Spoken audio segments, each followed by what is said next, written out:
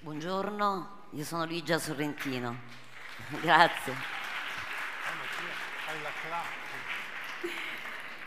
Sono molto contenta di essere qui e di condividere ancora con voi questa esperienza della poesia. Vedo qualche ragazzo che ho conosciuto al liceo Machiavelli, grazie, ringrazio vivamente la professoressa Caterina Conidi che mi è stata molto vicina e mi ha dato la forza di entrare in questa classe e di vivere insieme ai ragazzi questa esperienza viva dell'adolescenza. Erano tutti giovanissimi, praticamente io mi trovavo di fronte a dei ragazzi giovanissimi e dovevo iniziare questo discorso per avvicinarli alla poesia. Naturalmente non è stato facile, ma abbiamo lavorato molto bene insieme perché la prima cosa che io mi sono occupata di fare insieme a loro è stata quella di costruire un luogo, uno spazio dentro il quale entrare. La costruzione di questo spazio è sempre circolare per me e i ragazzi lo sanno, a questo punto lo sanno anche gli insegnanti. C'è sempre una circolarità all'interno del, della quale ci muoveremo insieme. Questo perché? Perché mi interessava fargli sentire attraverso l'esperienza del corpo la circolarità della poesia, del gesto che compie la poesia sulla pagina, che quasi sempre porta, a seconda poi ovviamente del tipo di poesia che si scrive, a questa forma, a questa forma circolare. Ma la forma circolare che era quindi un luogo, era anche un modo per dividere no? questa esperienza, condividerla, lanciandosela proprio letteralmente dall'uno all'altro. Questa condizione del lanciarsi l'esperienza era dentro le parole, che non erano necessariamente delle parole della mia poesia, ma erano delle parole anche di altri poeti, a volte di scrittori. Abbiamo parlato per esempio di Bassani, abbiamo parlato del giardino dei Finzi Contini, abbiamo parlato di questa poesia che Bassani introduce nel libro, che è una poesia di Emily Dickinson, Morì per la bellezza. Ecco, quella è stata un'esperienza meravigliosa anche per entrare nei fatti quotidiani della contemporaneità, no? degli eccidi a cui stiamo assistendo negli ultimi decenni, direi ventenni, dove popolazioni intere vengono decimate, sterminate. Ecco, il giardino dei Finzi Contini, cioè il luogo dentro il quale Nicole e Giorgio portano l'età della giovinezza e la, e la racchiudono lì, è diventato il luogo simbolo per questo percorso che abbiamo compiuto insieme. Poi ho cercato, e quindi praticamente da questo simbolo, simbolico luogo dove era mh, concentrata l'età della giovinezza, siamo entrati. Siamo entrati cantando Dante coralmente, abbiamo sentito il suono delle manconelle, perché spesso i ragazzi leggono Dante, ma non sanno cosa sono le manconelle. Quindi io ho cercato di fargli sentire i suoni portati dalla grande poesia, riconosciuta a livello mondiale. E poi la cosa importante eh, è stato entrare nel, nel senso della creazione che produce l'artista e quindi il poeta. Non è un senso in realtà, è, è proprio una determinazione della poesia. La poesia, come ogni arte, pone in essere una creazione. E per entrare in questa creazione siamo tornati a un luogo di origine. Ho chiesto a tutti quale fosse questo luogo di origine nella loro immaginazione. E qualcuno me l'ha detto, l'età dell'infanzia, quindi ancora prima di essere consapevoli di essere venuti al mondo. E quindi ragazzi sono entrati in questo suono, che è un canto, è un canto originario, che magari è il, è il primo canto che si è ascoltato, che non ha a che fare in modo specifico con la poesia che si scriverà, ma col sentimento della poesia che si scriverà. E quindi abbiamo detto che la poesia è un luogo di origine, che ha un luogo molto determinato nella nostra, diciamo, infanzia. È un suono di culla, è un suono che, che ci accompagna nei momenti difficili e che quindi dà origine a questa necessità per il poeta di porre in essere la parola della poesia, che è sempre determinata da un luogo sacro della parola e dell'espressione poetica. Abbiamo lavorato col corpo, con i gesti, con la voce, moltissimo, per dare la possibilità ai ragazzi di sentirsi i protagonisti assoluti di questa esperienza. E infine io vorrei proprio vedere qual è, qual è stato il risultato di questa necessità che io ho cercato di insegnare, di dare a loro, che per me è la poesia, che è come un laccio che eh, tutto racchiude nell'esperienza che ci portiamo da che, dal momento in cui nasciamo al momento in cui spariamo, proprio avvolti in questo, in questo cerchio ellittico che compie il percorso della poesia. Vorrei sentire i ragazzi, grazie.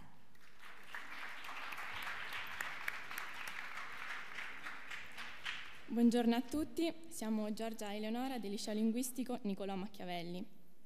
Cara Luigia, oggi siamo qui a testimonianza dei nostri incontri, che hanno portato alla stesura di questa lettera. Prima di conoscerla, eravamo un po' intimoriti da quella che avrebbe potuto essere la sua proposta, poiché ci aspettavamo un'introduzione ostica dalla poesia. Il suo approccio e la sua presentazione, al contrario, sono stati semplici, coinvolgenti e spontanei. Durante le ore trascorse insieme ha utilizzato più volte le parole verità, bellezza e, liber- e libertà, parlandoci del valore civile della poesia anche in relazione ai gravi episodi di cronaca dell'ultimo periodo. Nel mondo accadono fatti terribili e per non perdere la speranza dobbiamo cercare la nostra verità, nutrirci di bellezza e cioè di poesia, d'arte, di musica, ma soprattutto dobbiamo dare valore alla libertà di essere noi stessi Dobbiamo diventare cercatori di bellezza, imparare a riconoscerla, proteggerla prima che questa appassisca come una rosa e farla rinascere quando muore. La poesia è bellezza, la poesia è verità, la poesia può essere libertà. La poesia crea un ponte tra di noi e tra l'umano e il divino che c'è in ogni essere. La poesia, inoltre, rende eterno ciò che a noi è caro e attraverso di essa, come Orfeo, possiamo provare a vincere la morte e a rendere eterno quello che amiamo, perché? Ciò che crediamo perduto possiamo riaverlo, te l'ho già detto, spopolato, non scompare la fonte, tesse il suo divino l'umano. Grazie a questi incontri abbiamo imparato a percepire l'intensità e l'energia della poesia e ad abbandonarci alle sensazioni che essa suscita in noi. Vogliamo ringraziarla per la sua straordinaria energia per la voglia di trasmettere e condividere con noi i suoi versi, per gli insegnamenti che ci ha dato, per la sua finezza e sensibilità nel rapportarsi con noi. La ringraziamo in particolar modo per la sua disponibilità nel venire nella nostra scuola e per averci dato la possibilità di imparare ad apprezzare non solo la poesia, ma anche lo spazio, il tempo, le risate e le sensazioni che abbiamo condiviso con tutti i partecipanti. Ci siamo ripromessi, e lo facciamo di nuovo oggi davanti a lei, che saluteremo la bellezza perché siamo nati, siamo importanti. Noi saremo un grande uomo, una donna grande saremo. Noi decideremo l'azione, il ringiovanimento dei popoli. Saremo fratello e sorella, primavera che sciama nel vigneto. Con affetto, tutti gli allievi del secondo N del liceo linguistico Niccolò Machiavelli.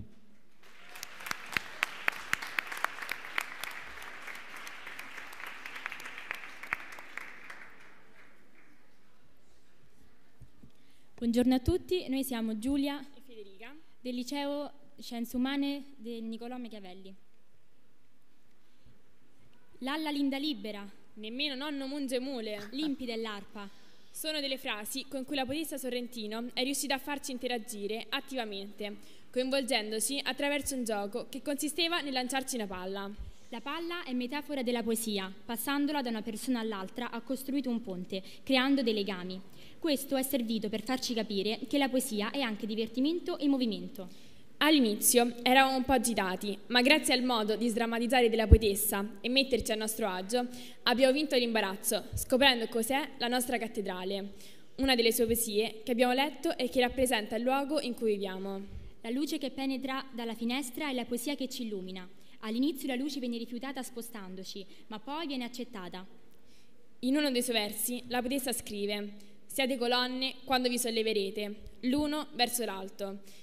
Il, vostro, il volto vostro esca dal marmo e torni qui dove ora siamo. E infatti siamo stati corretti molte volte sul nostro portamento, perché è importante essere aperti agli altri e non assumere posizioni che non ci rendano delle colonne. Utilizzando questa poesia, attraverso il suo aiuto, le abbiamo dato ritmo, collegandola a ogni movimento. Durante il primo incontro abbiamo affrontato temi storici e attuali. Infatti ha fatto un paragone con la verità negata durante il nazismo, tematica trattata nel libro di Bassani, Il giardino dei finzi contini, in cui è inserita la poesia Morì per la bellezza di Emily Dickinson, con la verità negata oggi dall'ISIS, capendo come sia importante cercare la verità e quindi la bellezza. Infine, dopo essere stati proiettati nella poesia, abbiamo capito il suo vero senso, di bellezza e libertà, Ringraziamo con tutto il cuore chi ci ha permesso di incontrare la poetessa Luigia Sorrentino, okay. la quale ringraziamo per l'esperienza che ci ha fatto vivere, la classe seconda B del liceo Niccolò Machiavelli. Grazie. Devo dire qualcosa. De... Ah, c'è ancora, c'è ancora qualcuno. Oddio. Caro poeta, siamo tre ragazze del secondo D del Niccolò Machiavelli Scienze Umane. Abbiamo partecipato agli incontri con la poetessa Luigia Sorrentino e in seguito a questi incontri la nostra classe, guidata dalla professoressa Cirincione, ha creato una raccolta di poesie, ispirate alla potenza comunicativa della poesia. Tra queste ne abbiamo selezionate tre. Parole, stracci di parole che mutano in versi, i quali abbattono le mura possenti del mio fragile cuore. Parole, torrenti di parole che suscitano in me ricordi, emozioni, sentimenti che l'anima mia respinge. Parole, universo di parole che mi fanno assaporare l'amore, che mi trascinano nel dolore.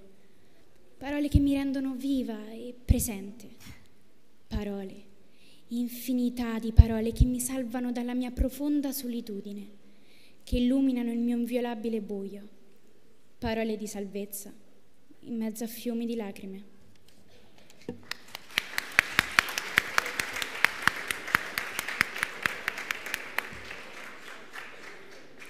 Emozioni. Oh poesia, con te immagini, parole, sentimenti non lasciano le nostre menti. Poesia, muovi voci e mani suggestioni che imprimono emozioni, liberi anime che sentono suoni. A te ci aggrappiamo quando tutto sembra svanito. In te troviamo il ripiglio in cui poter essere quello che siamo.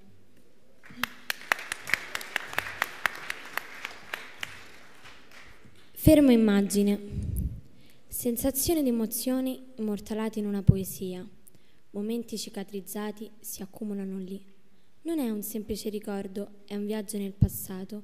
Il battito cardiaco si accelera, come quando vivevi quell'attimo in ogni dove carta, penna e scrivi, e d'improvviso la mano non finisce di scorrere su quel foglio. Tutto ciò che senti in quel momento è ormai un tatuaggio.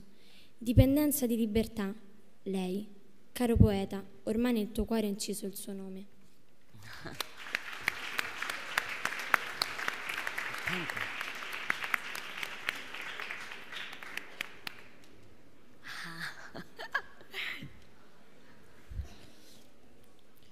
Caro poeta, ti vorremmo proporre alcune domande che sono nate in noi dopo due incontri a scuola con te. Infatti abbiamo provato ad approfondire il significato della poesia, un modo di comunicare sempre attuale. Sempre attuale, anche nei nostri giorni. Sarebbe interessante sapere, inizialmente, se tu ritieni che proprio tutti quanti possano fare poesia e scrivere in versi. Riprendi